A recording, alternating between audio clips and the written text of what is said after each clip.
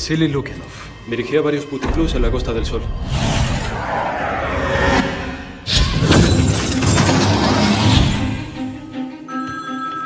Sí. Sí, voy para allá. Javier Falcón del grupo de homicidios Vicente Cortés, del Greco. ¿Y alguna idea de por qué Lukianov venía a Sevilla con 8 millones de euros en el maletero? Anoche traicioné todos mis principios. Robé pruebas por amor. Estado observando mi casa y a mi hijo. Fue por Consuelo Jiménez que decidió buscar a Jacob. Sí. Quieren reclutar a mi hijo. Quieren convertirlo en mujahideen.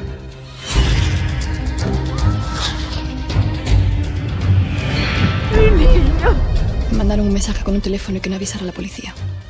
Alguien está torturando a Jakub con el reclutamiento de su hijo y a mí con el secuestro de Darío.